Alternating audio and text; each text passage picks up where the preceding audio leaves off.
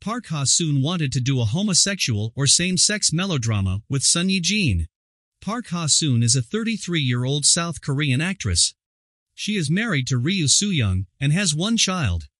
According to her interview in Cinetown, she mentioned Son Ye-jin and said she wanted to do a romantic melodrama with her. According to Park Ha-sun, I saw an interview with Son Ye-jin and she said she wanted to play the role of a girl she loves. I really want to try that same-sex melodrama with Son Ye Jin and she laughs.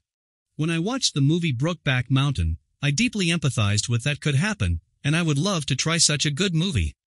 Back in 2010, in her Cosmopolitan interview, Ye Jin also mentioned Park Ha-sun. I'm sorry but I don't have the translation of that interview. So let's listen to Park Ha-sun.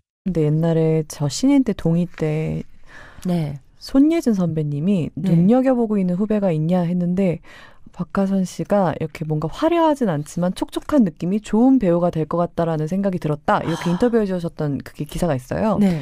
근데 그게 지금 되게 힘이 더 돼요. 뭔가 어 내가 배우는 될 수 있겠다 싶었던 거예요. 스타는 못 되더라도 내가 배우는 될 수 있으려나 했는데 지금도 가끔 생각나고 같이 운동도 다니는데 제가 좀 쑥스러워서 이렇게 가- 네. 가- 고맙다는 표현을 한 번도 못했는데 선배님 뵈도 네. 진짜 어 이, 너무 진짜 제가 별 볼 일 없을 때 그냥 아무도 잘 모를 때 네. 그렇게 이렇게 물론 봉준호 감독님은 그때도 되게 유명하셨겠지만 되게 이런 분들이 정말 큰 힘이 되는 것 같아요. 저는 진짜 배우님이 So do you want to see Eugene in same-sex melodrama movie?